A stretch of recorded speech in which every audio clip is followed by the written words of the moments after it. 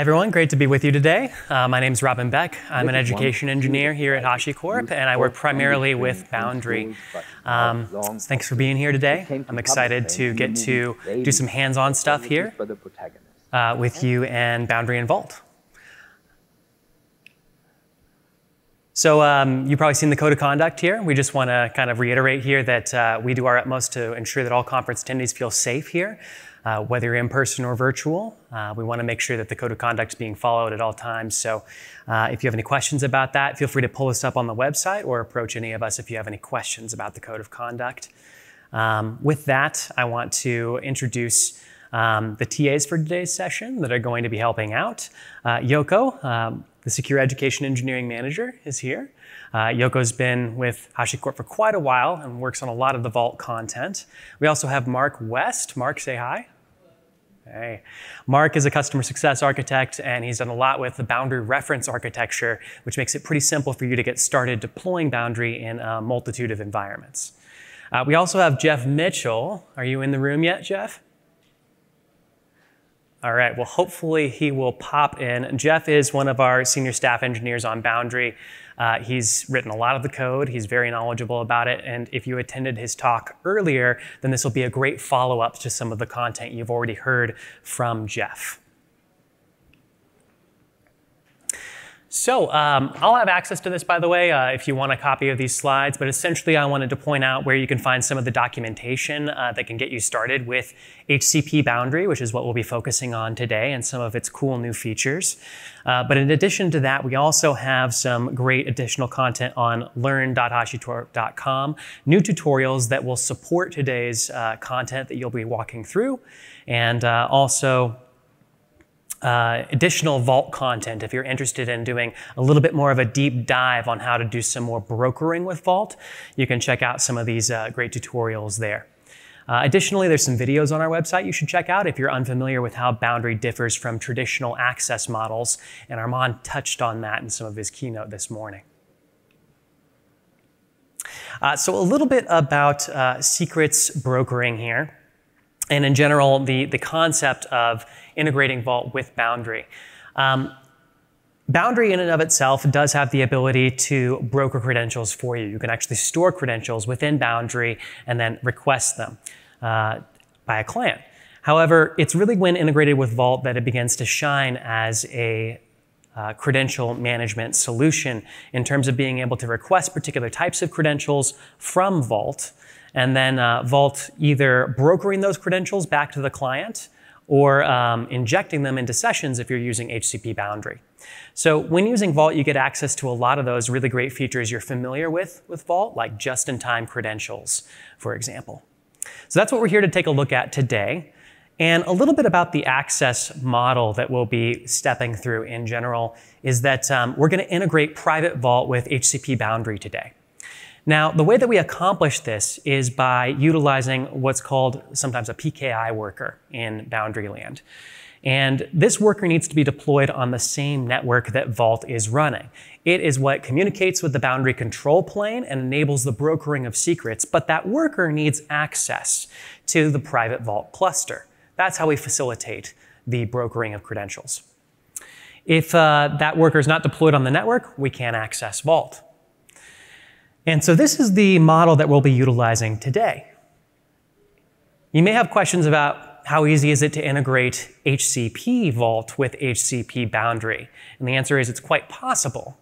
However, we don't currently deploy workers into the same network as HCP Vault.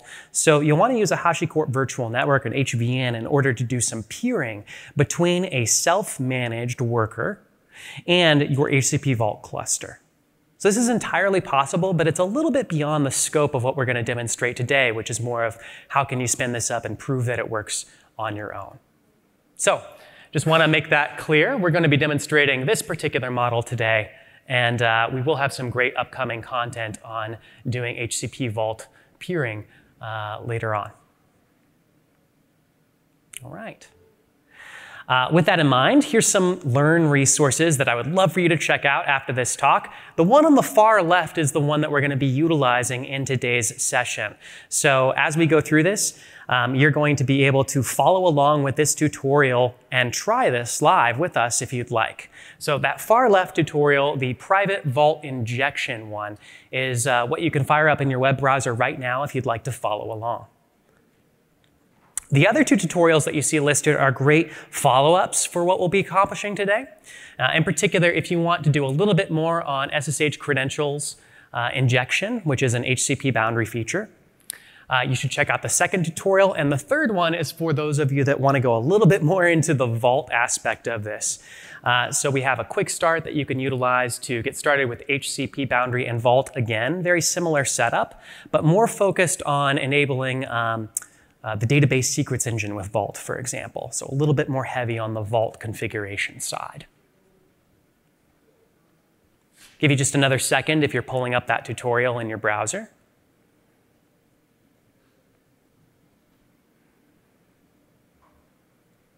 Was someone able to visit it? Give me a thumbs up if you got it. Okay. Great. Excellent. So at a high level, what are we going to be accomplishing today? We're talking about self-hosted private vault, and uh, these are the, the bird's eye view of what we're going to step through in this tutorial. First, we're going to run Vault locally. So this will be running on your own machine. We'll start a Vault dev server. And from there, we'll go ahead and begin configuring um, that Vault server with some policies that it needs to communicate with your boundary controller uh, or cluster running on HCP. We'll then need to set up an SSH target with HCP boundary. So this is the process of setting up a target um, and also configuring Vault credential libraries. So those are two separate operations we'll need to do on the Vault, uh, excuse me, the boundary configuration. First, we'll set up a credential library that has access to all those vault secrets that we're excited about. And then we'll configure that target within uh, HCP boundary. And for the purpose of this uh, demo, we'll be running that SSH server locally on our machine using Docker as well. So those are the things that you'll need for this um, exercise. You'll need Docker, if you don't have it. You'll also need uh, to have access to HCP Boundary, of course, and then you'll need Vault and Boundary, the CLI tools installed locally.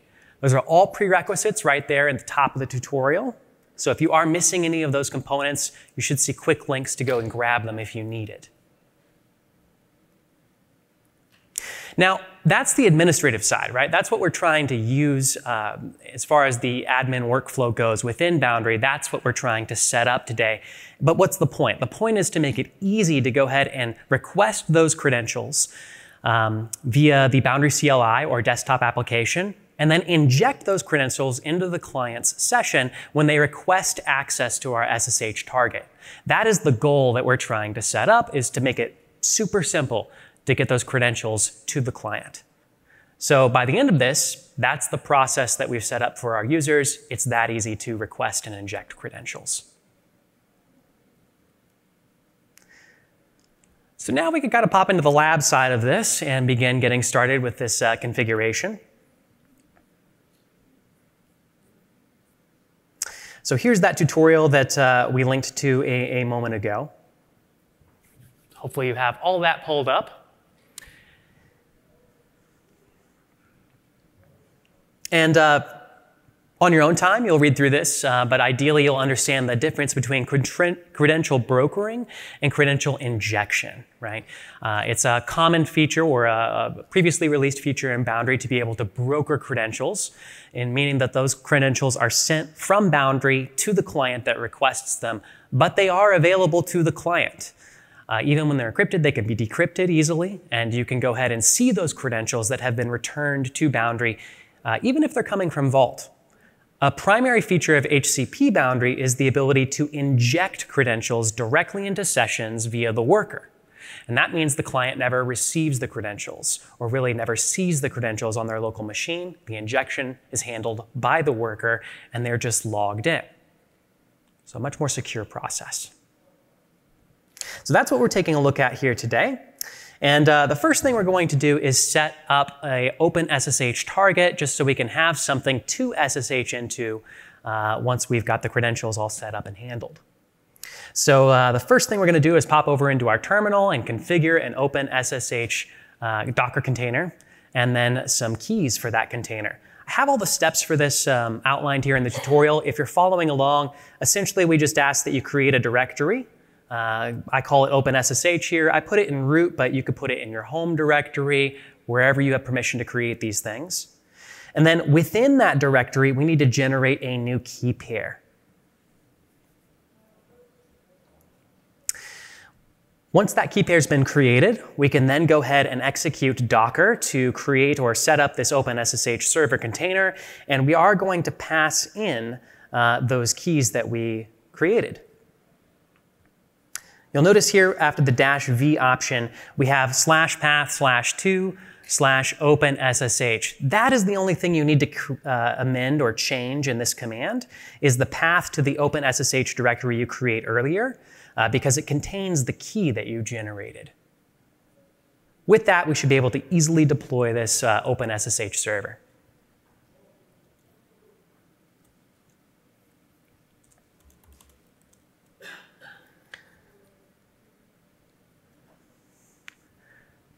You can see that I've gone ahead and done that already. So my OpenSSH server is up and running.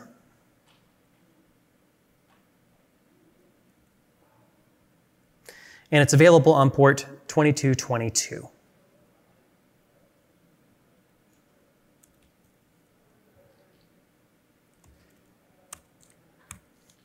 Just to test and make sure it's um, up and running. You could pass the keys if you were really interested in it.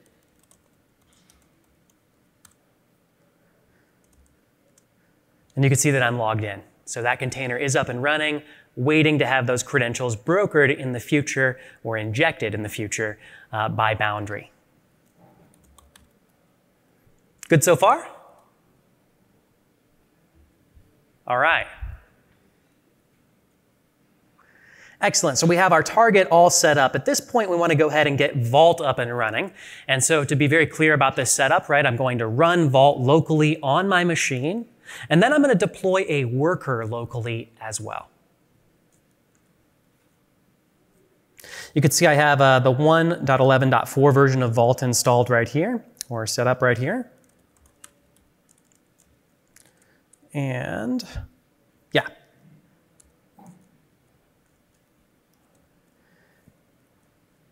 You can uh, export the vault address and the vault token. Uh, these are simple things that are done often in order to uh, easily deploy vault on your local machine. Uh, you don't really need to do that in the session where Vault is going to be run as a dev server. You should really just be able to run this command right here.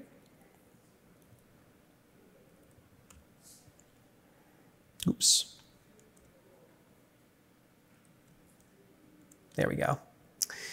And uh, now that it's running, we can go ahead and begin setting up Vault and Boundary.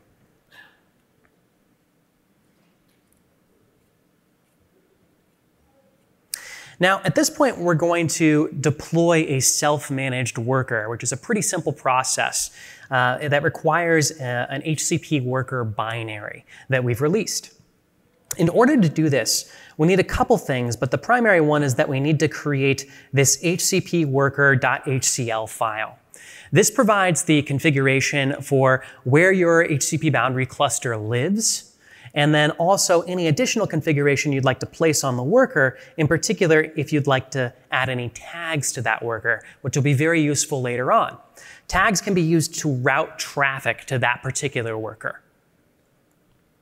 Uh, for this particular setup, we're going to have the worker running locally, and it's going to be listening here with this listener uh, on port 9202 on your local machine. Now, I'd like you to go ahead and set up this file uh, in this way. Uh, you can copy and paste the contents um, of this file into uh, you know, using a text editor of some kind on your local machine. Uh, I'm going to place this in that boundary directory that I set up earlier.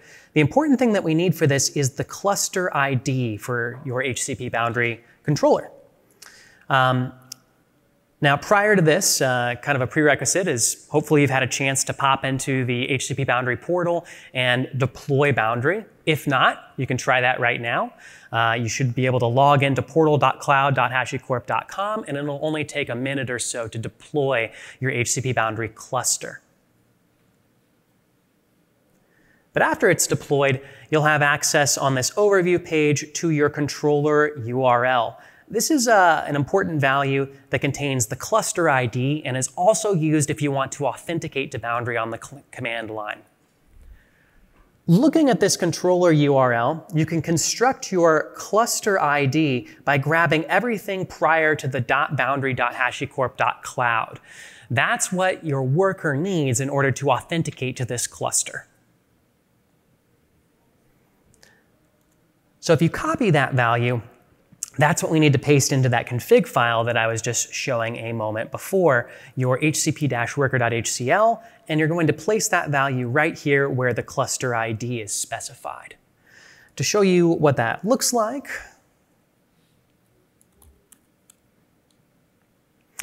I have that set up right here with my HCP boundary cluster ID.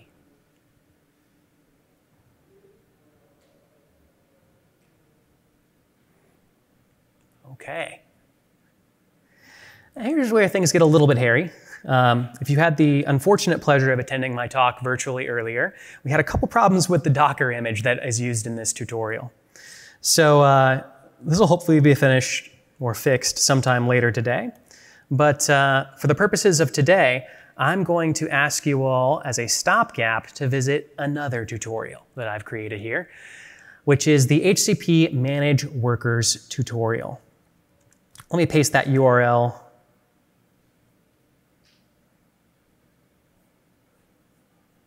Yeah, make it a little bit bigger if I could here.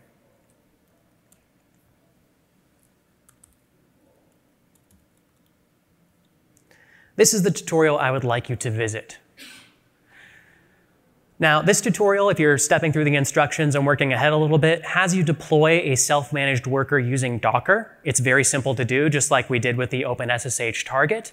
Uh, but for some reason, I, I, had trouble with the networking this morning, uh, getting it to work on my local machine and communicate with Vault properly. Not sure what the issue is there yet. It worked yesterday. However, uh, what I'm going to have you do instead is deploy the self-managed worker locally using the worker binary directly. So we're going to bypass Docker.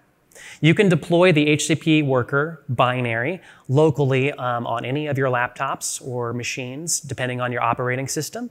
And this tutorial has the steps for doing that. Essentially, you just download the binary, unzip it, and then we can use it to deploy our self-managed worker. Anyone need another second to plug that link into your browser?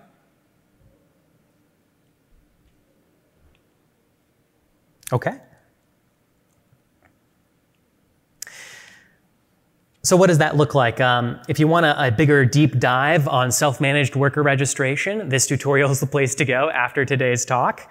Uh, if you scroll through the contents here, we have some nice steps on configuring the PKI worker. It's the same exact instructions as what we're doing here, but under the local worker tab, we have instructions for Ubuntu, Mac OS, and Windows for downloading the binary for um, the boundary worker.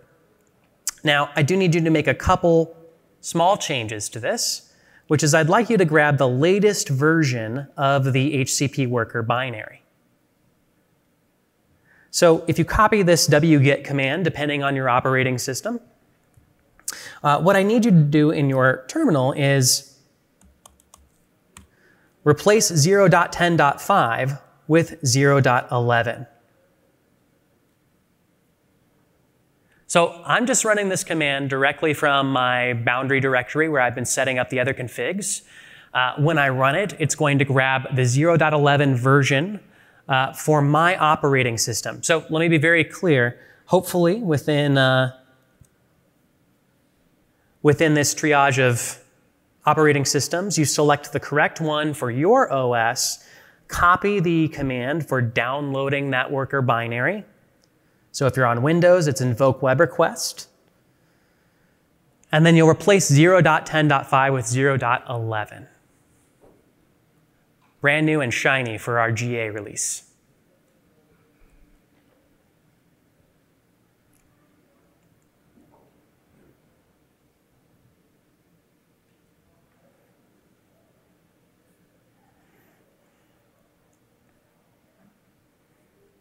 Someone give me a thumbs up if they were able to follow along with that. Am I being too obscure? Is anyone able to grab that binary?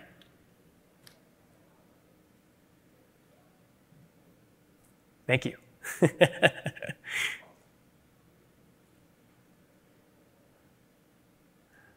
Great, I see a few of you still working, so I'll give you another couple minutes to grab this.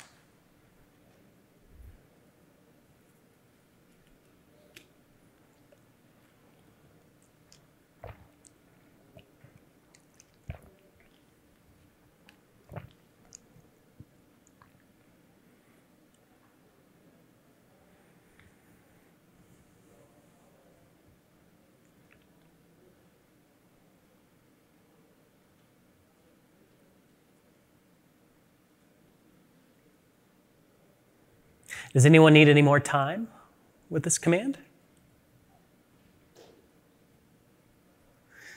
Okay, the point of this is that you'll eventually here uh, be able to download this zip directory that contains the boundary worker binary. Uh, the command that I just showed you on the screen, uh, or depending on your OS, will also unzip the boundary worker binary to this directory. So you should have that available and ready to go. That's all we need to deploy the worker file that I just had you create. So you don't need that tutorial for anything else other than grabbing that worker binary. Now this is the part you're going to skip. You are not going to use Docker to deploy your worker binary file. So again, I apologize. Hopefully um, I'll either update this tutorial very quickly with the uh, direct local worker instructions, uh, or we'll get that Docker image updated. Instead of deploying it using Docker, we're instead going to deploy it using the boundary worker binary you downloaded a moment ago.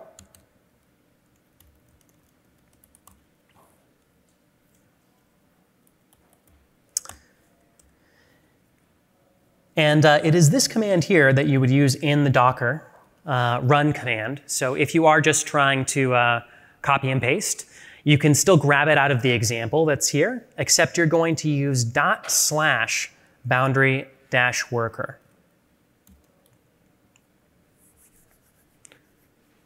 Now, you'll also need to replace this with the path to your worker file you've just configured with your cluster ID. So in my case, that's going to be my username slash boundary and then that worker file.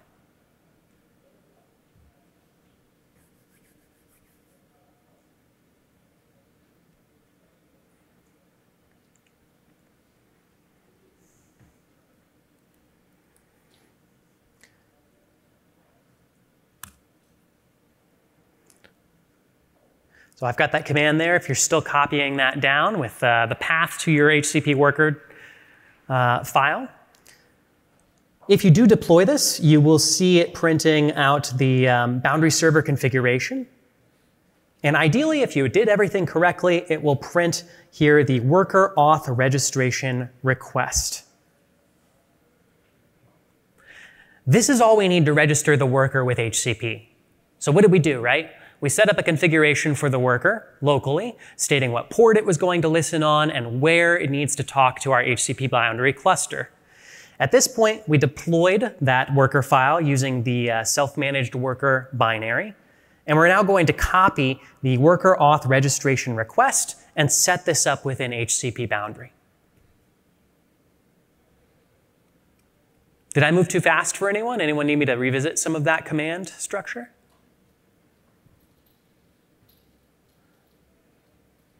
Hot audience, all right? Great. All right, well, uh, we're going to copy this worker auth registration request at this point, and we're going to head over to our admin UI for Boundary. This is pretty easy to access from your uh, cluster page here. You'll see this big blue Open Admin UI button. And And if you click on that, it's going to prompt you to log in to your uh, HCP boundary cluster. So you'll enter in the credentials you use to create that cluster or spin it up, and you'll see this new section called workers. This is one of the exciting things that's available now to us. Uh, you'll see if you open this up, you should probably just have KMS workers. These are the standard workers that are running on HCP boundary itself and um, you know, supported by, by HCP boundary. What we're going to do now is add our own worker to this list. So right up here in the upper right, you'll click this new button. And here's a great way to step through the process of setting up this config file. I tried to make it easy in the tutorial for you to just copy and paste this. But let's say you're setting up this config file on your own server and you want to construct all those values that we just copied and pasted, right? You have the ability to, again, enter in your cluster ID here. From here, you could enter in your public address, whatever it might be.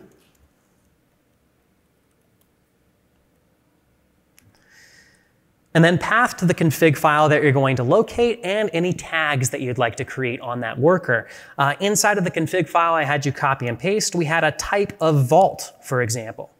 I click add, and now it begins setting up this config file for us.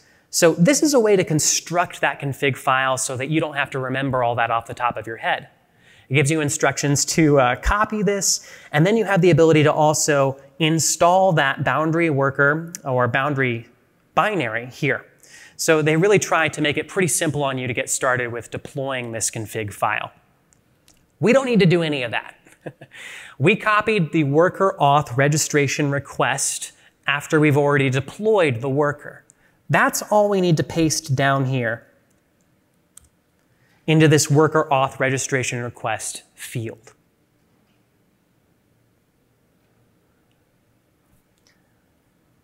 So to be clear, I copied that directly out of the terminal here. And now I'm going to click register worker after pasting that request in. You'll get success, it was added. You can click done you'll see a new PKI worker has been added to HCP. And after a moment, if I open it up, we will hopefully see our tags appear. There we go, two tags. Type, vault, and worker. So where did those come from? Those came from these tags listed right here. So this worker's been registered with HCP. Excellent. At this point, if you're following along, we're ready to go ahead and set up things on the boundary side. Uh, to do this, we need to authenticate to our cluster on the command line. So what will you need for that? You need, firstly, your controller URL that you can copy again from your HCP portal. You will also need your auth method ID. If you haven't already grabbed this, Inside of your boundary management UI, from the home page, you can click on auth methods. Click the boundary logo here and then auth methods, and you can copy your password auth method ID. Those two values are needed to go ahead and log in on the command line. To do that, I'll export my boundary auth method ID I'm using environment variables. It makes it very easy to log in using these environment variables. And additionally, I need to export the boundary underscore adder, which I'll then set equal to that address copied from the portal.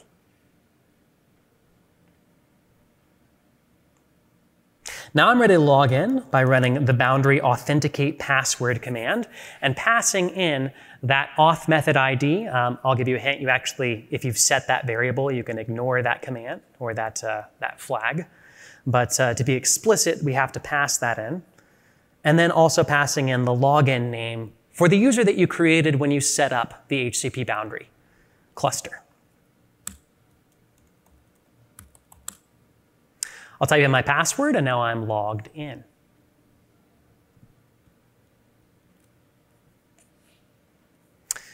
So if you're following along here, we've gone through and uh, registered the worker using the UI instead of the CLI that you see right here. Both options are completely valid. And now at this point, we're ready to define the controller policy for Vault. So what does Vault need?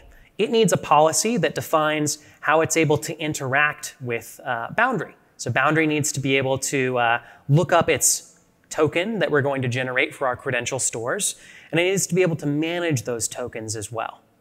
So we need to write some uh, policy here for the boundary controller, and then additionally, we need to write a little bit of additional policy here for the secret that we're going to create and manage.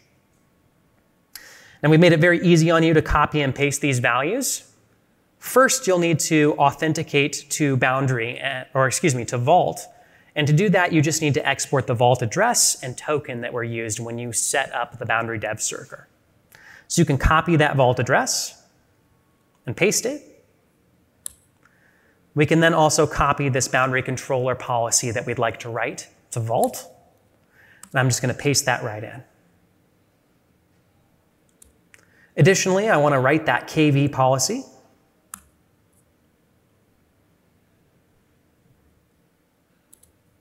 And now we're ready to add a secret.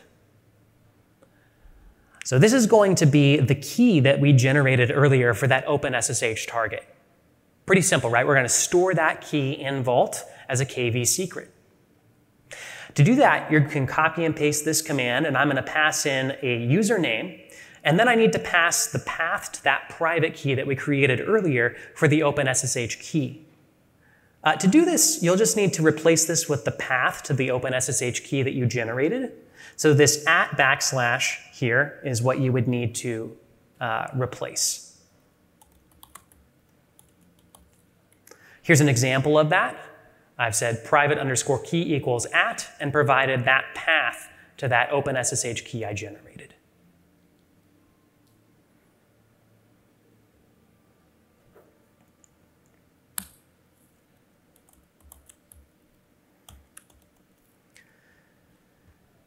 Now that I've added that secret, I could go ahead and request it from Vault, and you can see it being returned there. So we have the secret in Vault. We have our Vault policies in place. And now we're ready to configure Boundary to go ahead and uh, interact with Vault. To do this, we need to create a token or request a token from Vault. And it's important that that token's orphan period of 20 minutes and also renewable. Uh, we also need to pass the policies that we just created when generating this token. Now, uh, you can go ahead and copy and paste and export the environment variables if you'd like. We have these handy commands in the tutorial that make it super easy to both create the token and store it as an environment variable for later use. So we have the demonstration of how to do that manually, but you can also just copy this export command that does that all for you in one go. So generate the token, store it as an environment variable just to make it easy.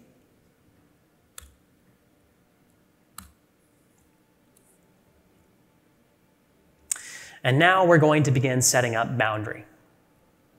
We've already authenticated, and at this point, you can go through and begin uh, setting up boundary uh, with some testing resources.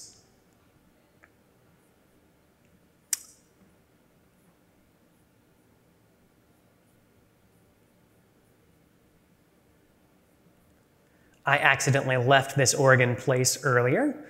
But uh, at this point, what we would do is begin setting up our credential libraries and um, stores. So this is a pretty simple exercise in copy and paste if you'd like to go about doing that. Uh, you can also use the uh, UI here to begin creating new orgs. So testing-org. Within an org, we can create a project that will house our credentials and our hosts. So I could create a new project named ssh-project. And with those in place, we're ready to go ahead and begin setting up our Vault credential store. Now, when setting up an HCP worker, like we did earlier, we created this worker filter for the credential store. And this is an important step. We need to pass this filter to the credential store when we generate it. You can notice here, we're going to create a new credential store of type Vault. I pass in the vault address, the credential we created earlier, and the worker filter that we created uh, whenever we defined what the worker should be uh, deployed as. So copying this, I'm passing in that uh, cred store token from earlier. Oh no. Ah, and of course, I did not export the project ID because I created it in the UI. So if you are following along and doing it in the UI like I did a moment ago, you'll need to grab the project ID that you just created right here and export it as an environment variable or just pass it directly to the boundary credential stores create command. Excellent. So I've gone ahead and created that credential store. It now has an ID. And I think the tutorial has us export it as the cred store ID variable. And again, we have these handy commands that would allow you to create them all in one go if you'd like. So I'll export that as cred store ID if you are on the uh, admin side with the Boundary, if you've done a lot of this already in our tutorials, there's some copying and pasting of IDs right now, right? So uh, that's what we're trying to make simple on you by having these environment variables that we export. At this point, we're ready to create a credential library within that credential store.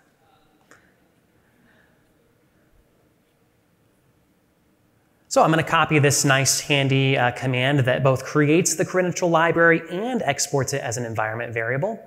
You can see to create this credential library, it's type vault. We pass the credential store ID that I just created, and then I provide a path to the vault secret that we just created. So notice that's the path where we can find that uh, SSH key that we uploaded to Vault a little while ago. We're also specifying that this is a vault credential type of SSH private key. Excellent. So now I've created that. And uh, this command both creates and exports the, the uh, environment variable, which I can see here.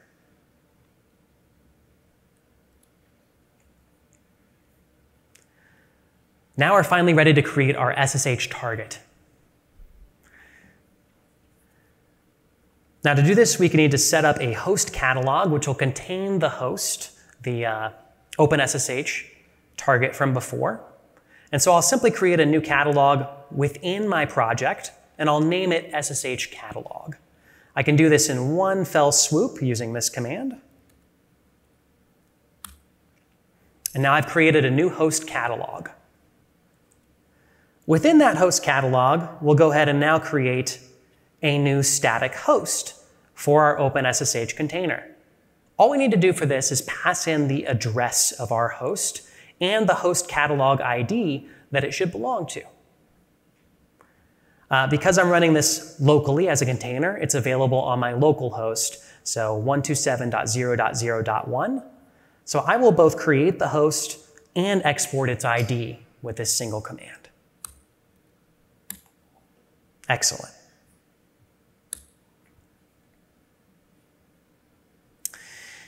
And now, now that we've created a host, we need to add it to what's called a host set, which we can do with this handy command. We'll pass in the host catalog ID that we just created.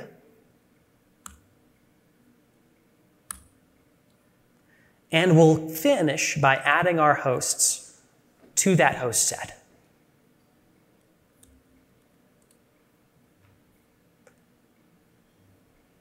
Excellent. So now within our SSH machines, we have our host. Here is its host ID that was created a moment ago.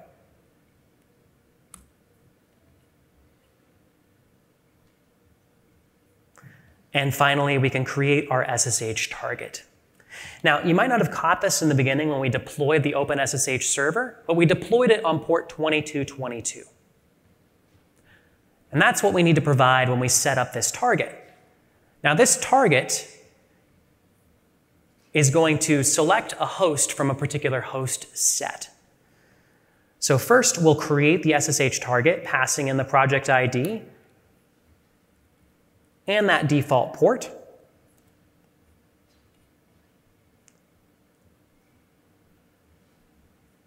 And uh, I believe I need to now export its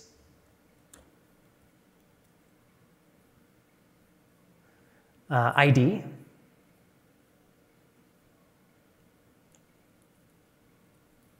Great. And now I can finish by adding my host source to that target.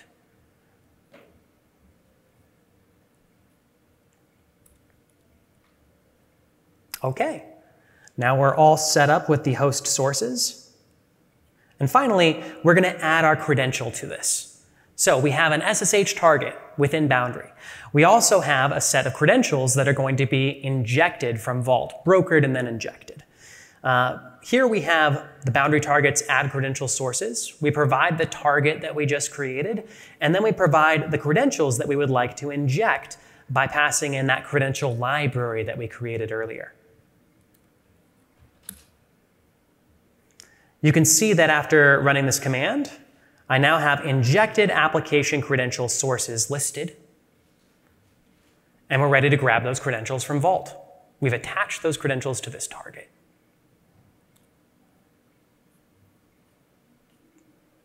Okay.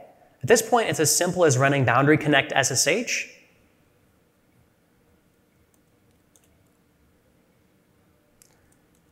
You can see it asks if I want to connect, and we're in. And that's it. That's the entire workflow that we're trying to set up on the administration side. So now it's as simple as saying, I want to connect to that server, and those credentials are being injected by the worker after they're received from Vault.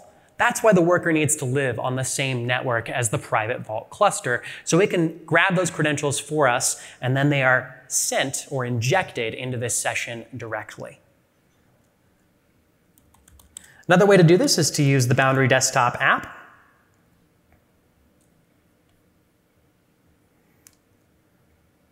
Looks like I need a new version.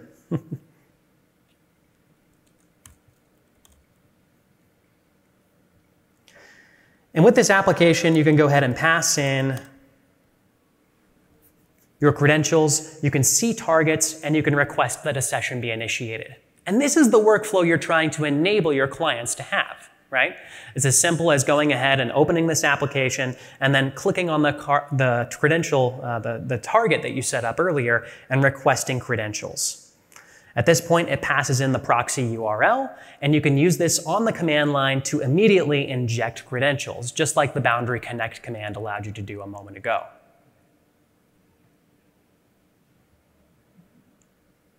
And that's it. I think we're running up pretty close to time. So um, all this workflow is inside of this tutorial. If I went a little fast for you here at the end, please do try this uh, for yourself later on. Uh, call us over if you have any questions. Um, at this point, we'd like to take questions, and I think we have our TAs both in the room.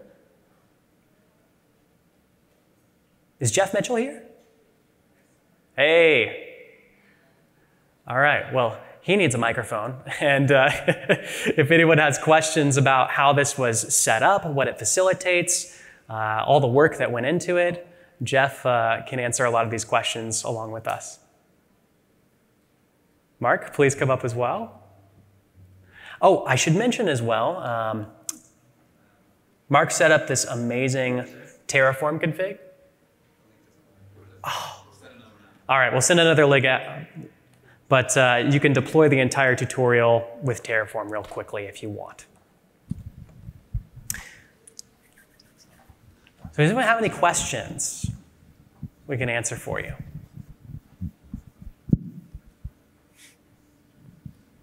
No? You got the man of the hour here, so. All right. You guys are ready for boundary certification already? what was confusing about this workflow? Did anyone uh, get a little lost there at the end when I went through the entire host creation process? I might add had I known the dependencies prior to this I might have had all the boundary worker installed. so I, there's nothing to say. Yeah, the, the, the Wi-Fi. The Wi-Fi is a little troubling. Mm. Yeah, I think that was a problem with the last session as well. Thank you for that feedback. Yeah, that's that's that's very good feedback, and it's unfortunate about the Wi-Fi at the moment. Um, it's taking far longer to get resources than it should. And you said the boundary worker binary took a while to download itself? Yeah. Yeah, I'd like to echo what uh, the gentleman just said. Uh, but also, so I, I was trying to follow the, the instructions. The cluster ID, right? Um, looks like there's a URL, UID to pick up from, and I there, there's nothing in the instruction that actually indicates where to grab that from. Oh, really? Yeah, Sorry about that. I don't, I don't know. Maybe I'm maybe I'm missing it, but uh, I don't see it. It should be unique, right? It should not be the one that's uh, that's in the procedures, right? Yeah, here's the instructions right beneath the file where it says uh, the cluster ID can be determined from the cluster URL, and it mentions here how to construct that from the URL. So is that the is that the one that I should be copying? The exact same one? Yes, Oh, the exact same one. Okay. No, no, no, no. For for your cluster, which not, is right not, not the one here. The one for for your cluster that that's running. This is just showing an ex- yeah. So that documentation is just saying if that's your URL, then the the ID would be that that that section of it. So how do I start my own? Log into HCP portal and launch a boundary cluster. HCP Yeah. So so this is so this is predicated on having an HCP boundary cluster um, set up. And, you would how do from I log into the portal? Okay. Is that in the instruction or did I miss it? It's a prerequisite at the top, yes. Okay. And I'm happy to help you out with that too at the uh, Learn Lab table after this. Um, we have uh, our booth over in the hub. So if you want help setting this up, come visit us at the booth and I'll, I'll walk you through the process as well. But those are part of the prerequisites at the front of the tutorial if you try it at home. Okay. Okay. Thank you. Yeah, and I apologize. This is a little bit more advanced of a workflow as well. I should just point out um, we have a whole set of getting started tutorials with HCP. If this is your first exposure to this, this was probably a lot. Uh, seeing the host creation, the target creation, all that good stuff. So we do have a set of getting started tutorials that will walk you step by step through the domain model and understanding a little bit more of what you're setting up here. We really wanted to show off the credential injection and the self-managed worker portion of this because they're really exciting features that bring Boundary um, kind of to the ability that you know people can use it within their own uh, networks. Yeah, I'll, I'll add to that though. If you just want to get started with Boundary and sort of don't need the, the extra features that are part of HCP Boundary, you can download the open source version, run Boundary Dev, and you have a very full featured uh, Boundary experience that you can use with a lot of the Learn guides, and it, it just runs locally. So uh, that can also be used if you, you know, th- this Learn Lab obviously was about SSH credential injection, but if you don't need that as part of just playing around with it, then you can download the open source version and use that. So in in this case, if if I followed it right, you're using credentials put in the KV to get injected through the the, the SSH. Can you also use um, Vault's SSH secrets, or is that So, um, so right now we support. Uh, so wherever it's sourced from Vault, we support uh, private keys and uh, and passwords along with usernames. Um, certificate support is coming soon. So if you're using uh, SSH certificates from Vault's SSH uh, secrets engine, then that is being worked on right now. That will come out fairly soon. So I and just some of the tutorials also set up the username password credential type. So you know you can check that out and see that type as well and how to inject it. Sorry. Also, I wanted to um, draw attention to the boundary reference architecture, where you can run all of this as well within um, Docker, um, Docker Terraform uh, console sync, as well as um, Kubernetes. So um, wherever you're most comfortable, um, highly recommend checking out boundary reference architecture. But I'm biased because I contributed to it. So if you are interested, open the deployment section of this and you can see how to deploy Boundary on a multitude of architectures, uh, including Kubernetes and you know, all the favorite cloud providers. Uh,